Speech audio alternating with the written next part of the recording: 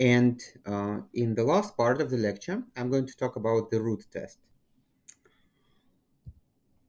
So um, the, the root test is similar to the ratio test. So if we have a series, well, essentially it only applies to series of positive terms because um, in the root test, um, we are working with the absolute value of um, a term of our series, right? So, but now, if in the ratio test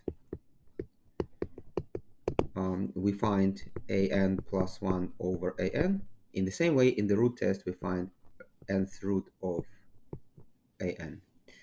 And the conclusion is essentially the same, and the intuition is also, well, very, very similar to the ratio test. So the idea is that uh, if the limit uh, of the root of um, nth root of an is L, it means that an itself is approximately equal, well, nth root of an is approximately equal to L, which means if we raise it to the power n, we will see that an is approximately equal to L raised to the power n.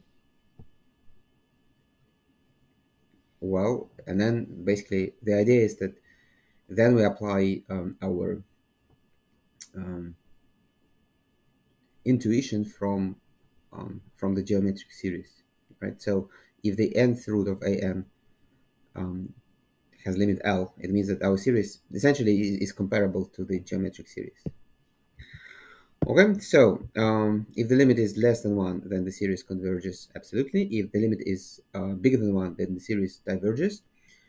And if the limit is exactly 1, then the root test is inconclusive.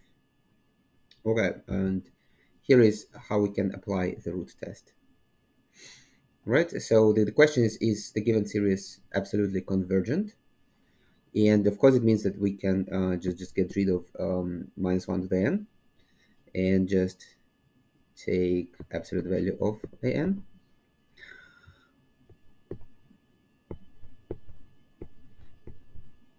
Now, nth root of this is going to be this raised to the power 1 over n, uh, which is n raised to the power 1 over n, divided by 3.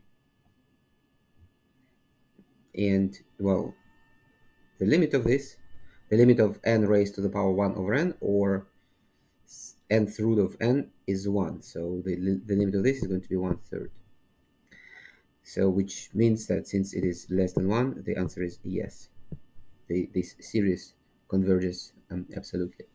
Now, if you don't remember the, this limit, I, I think it's good to remember that the limit of nth root of n as n goes to infinity is 1 if you don't remember it, so let, let me quickly review how we can derive it. So why is this so? Uh, to derive it, I'm going to use the fitting function f of x, which is the root of degree x of x, which is the same thing as x raised to the power 1 over x. Um, and this is the same as e to the power 1 over x times ln x. And let me take the exponent here and find its uh, its limit. So what is the limit as x goes to infinity of ln x divided by x?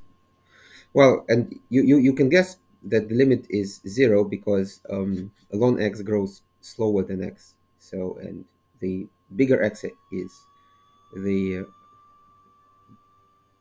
smaller is the ratio, right? So the, the limit should be zero, but again, strictly speaking, it is um, an indeterminate form of the type infinity over infinity. So to to do it, um, we can uh, apply L'Hopital's rule. So we take the limit, the derivative x to the power uh, x goes to infinity. The um,